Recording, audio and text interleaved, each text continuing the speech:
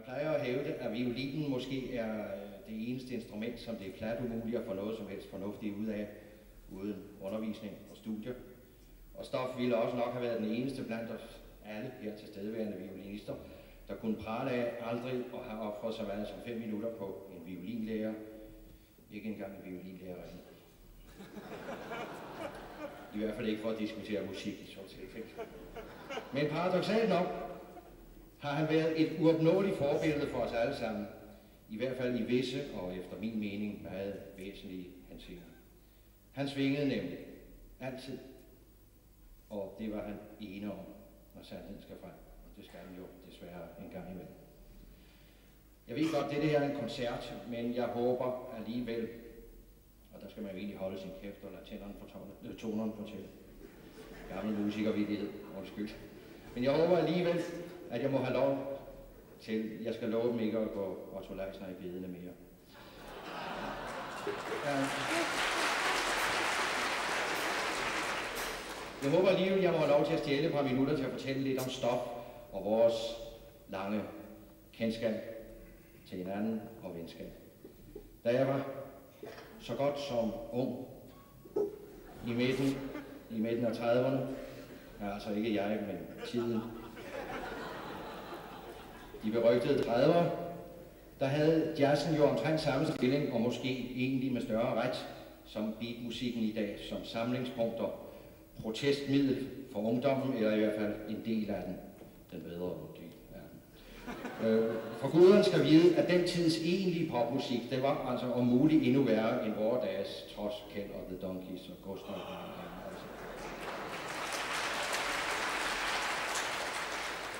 Det var violer til mor og den.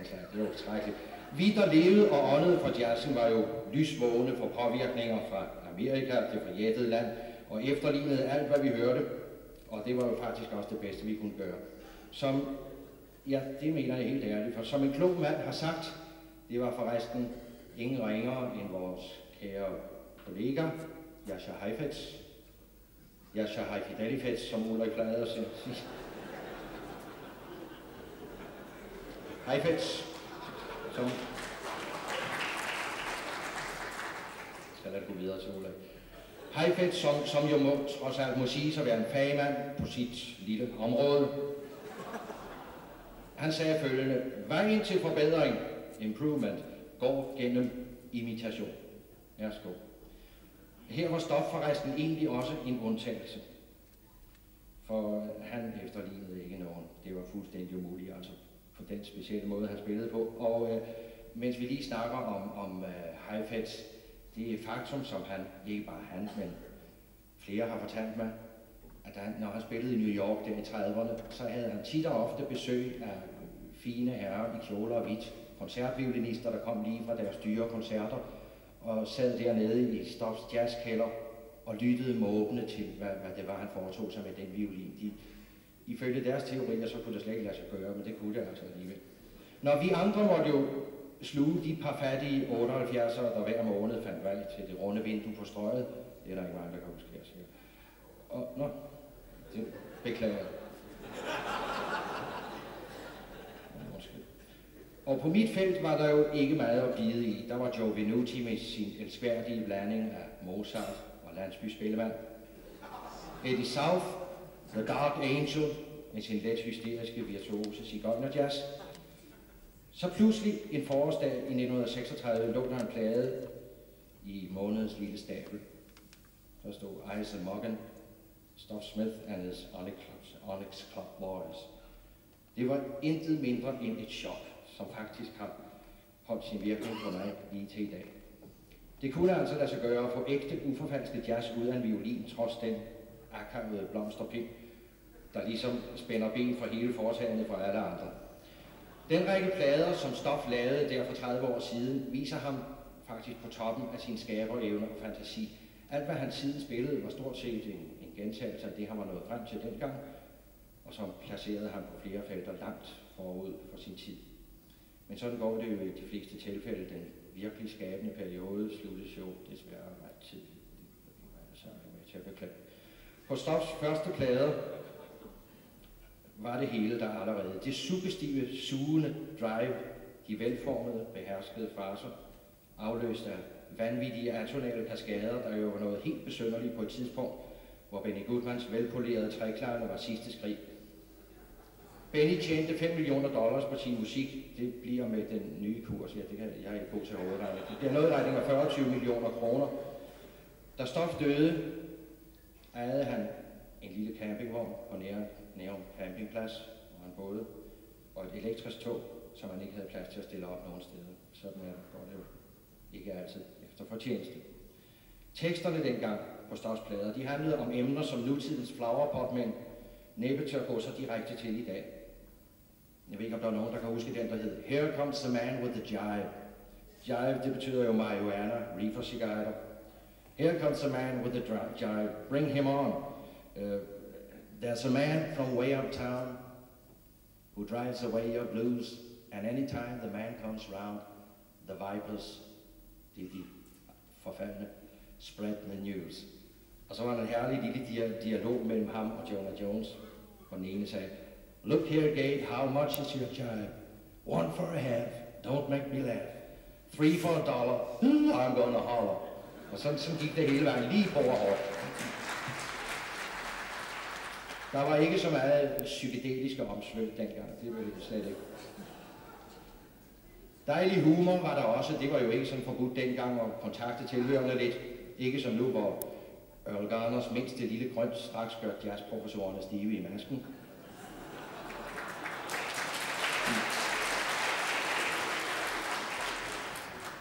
I de år vandrede jeg rundt på en lille rosenrød, en stor rosenrød sky af Stop Smith begejstring.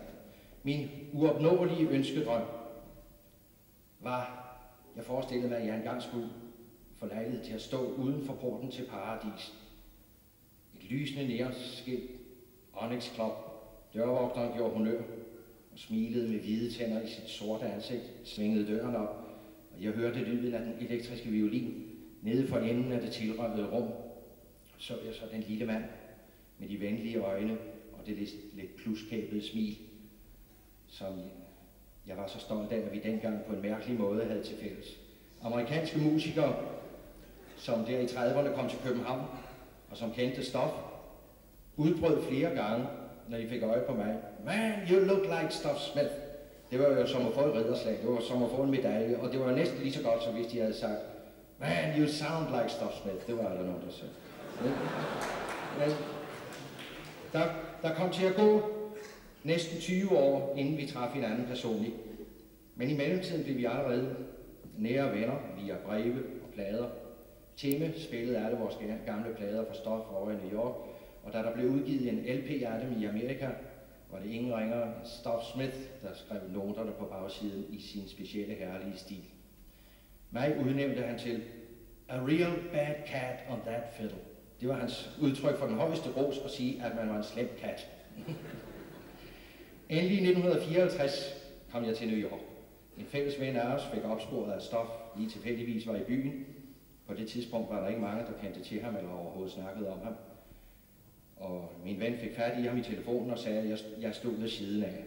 Ah, ah, ah, Svend Smusen, ha, ah, ah, has he got his fiddle? Så beordrede han vores brugerstrejk til at tage en taxa og gav os en adresse højt op i det sorteste havne.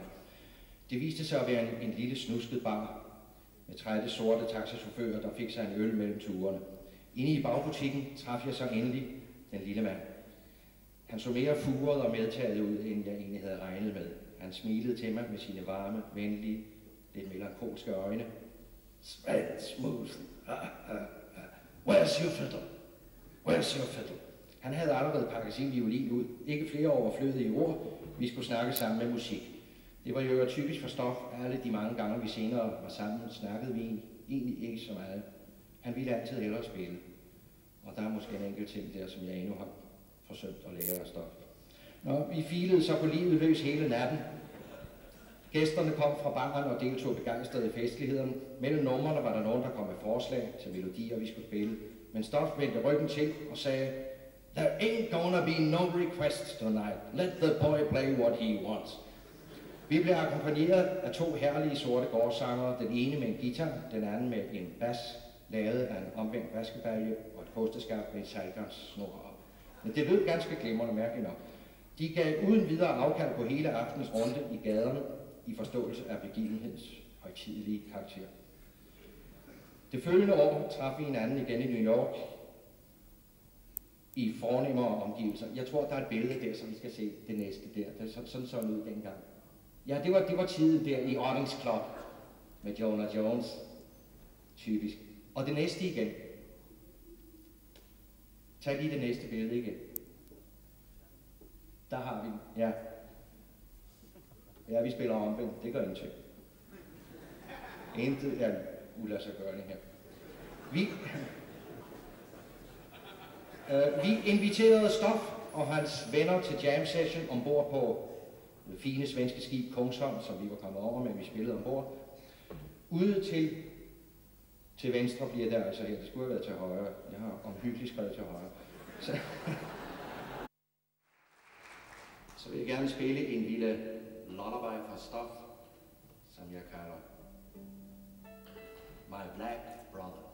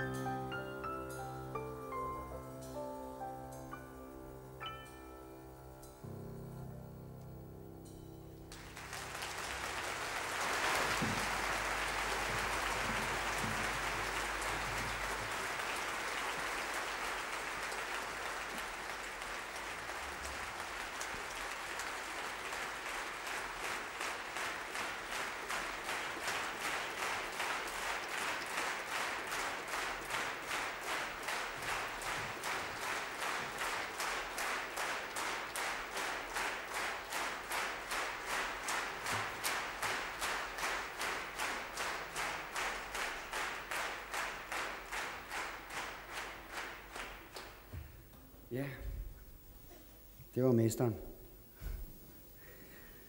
Så skal jeg præsentere dem for to andre meget store violinister. Det er, jeg håber de er i nærheden. Jeg har ikke set dem. Men det er franskmanden Stefan Grappelli.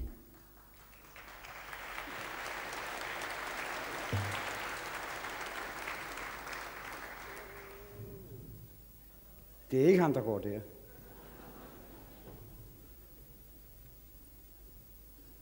Nå, man forsøger vist at finde ham.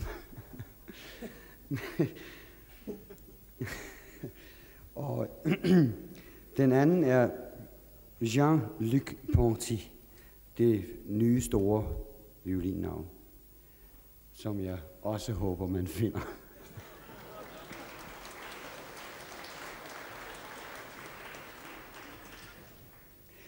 Nu har vi ham. Stefan Grappelli.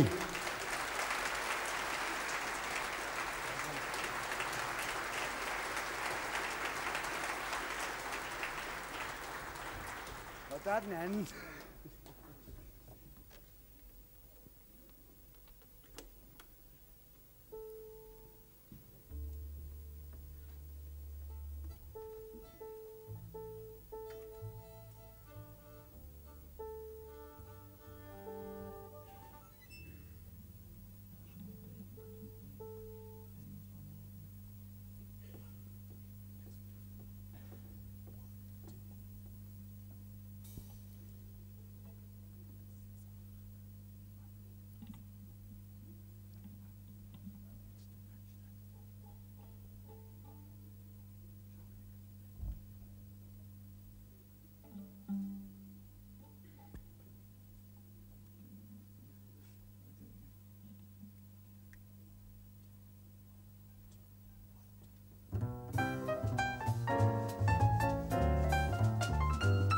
you